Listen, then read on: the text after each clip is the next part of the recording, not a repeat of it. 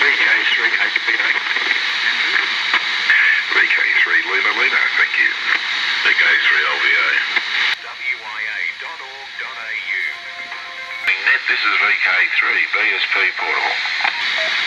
Here's a demonstration of slope detecting a narrowband FM signal on an AM receiver. What you see here is an old AM only car radio. On top is a homebrew converter that converts 2 metre FM signals down to the AM broadcast band.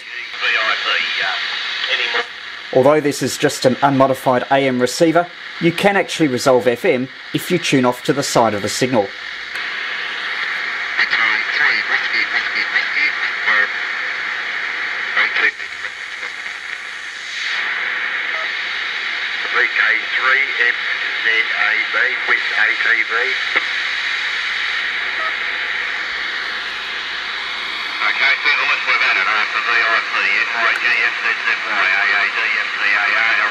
Here we're spot on the frequency and it's somewhat distorted. And out of all those, we've got uh, two extra to the list of uh, ATV uh, watches. Any more for the callback? Go now. VK3 Juliet, mate, Charlie. VK3 FIRO.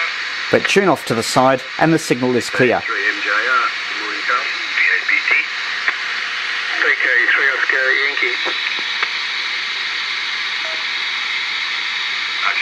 Okay, the list we've added, uh, the last one uh, logged in was FZAB. This is not the most sensitive of receivers, there's no RF preamp, but you can adequately hear local repeaters. These repeaters would be maybe 20 or 30 kilometres away. Uh, Mark, uh, VK3 ABT, uh, we'll be doing a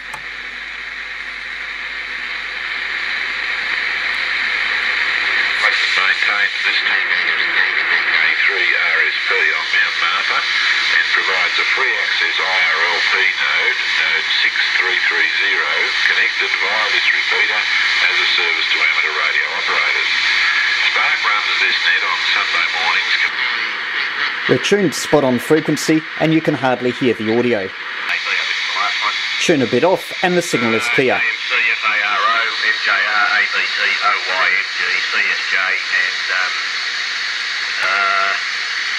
Uh, AIF. So click by yourself.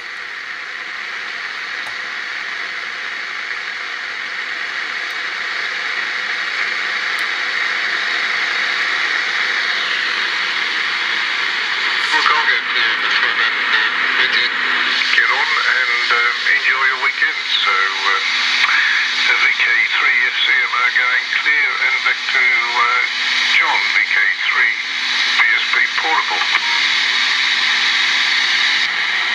VK3 FCMR and the group from VK3 BSP portable. Okay, yeah.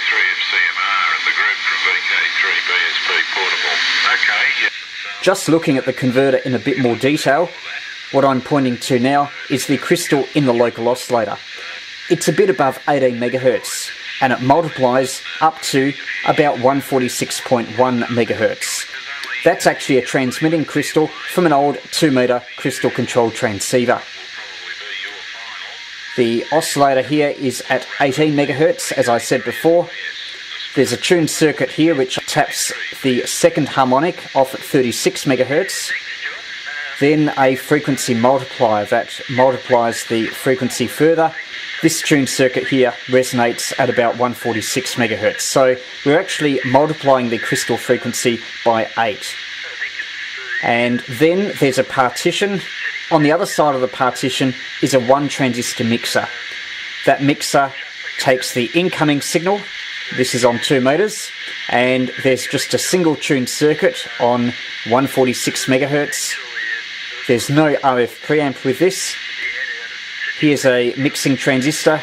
The product of the mixer is the difference between the incoming signal here, 147 megahertz say, and the local oscillator signal, 146 megahertz.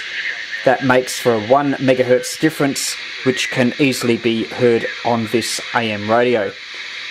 As it happens with the crystal that I'm using, the coverage is 146.6 to 147.6, which covers all the repeater outputs and some simplex frequencies. One common crystal frequency is 18.432 MHz. If you multiply that by 8, you get 147.456 MHz. So if you wanted to, you could use one of those crystals and cover a portion of 2 metres.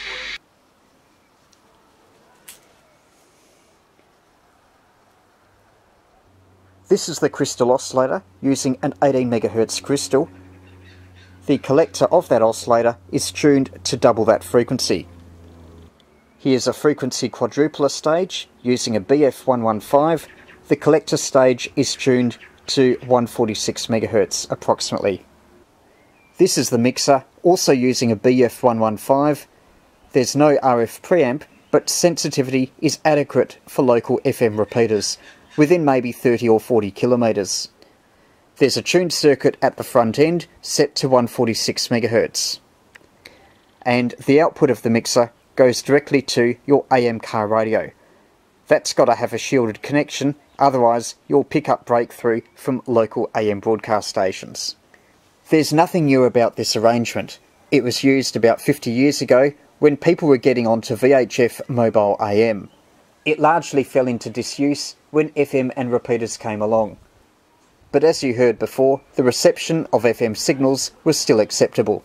All right, let's see if there are any other stations wishing to join this morning's SparkNet. This is VK3, BSP Portable Listening. Morning, Carl. VK3XDA. Okay, just take a pause there. One thing you could do with this arrangement, though I haven't actually tried it, is to incorporate this in a 2 metre FM transceiver for repeater use only. The crystal oscillator and the frequency quadrupler would produce a signal on the repeater's input frequency. Those stages would still be on during receive. What would happen is a low level signal on the repeater's input would be injected into the mixer and if the car radio is tuned to 600 kilohertz then you'll be able to hear the output of the repeater. You just have to tune it slightly off 600 and you'll be able to slope detect it in the way that I demonstrated before. For 6 meters, where we use a 1 megahertz repeater offset, then the same principle would also apply, except you tune the car radio to 1 megahertz. This is just a very simple way of receiving a VHF FM signal. It doesn't have a squelch, but as you heard before, the recovered audio is reasonably good.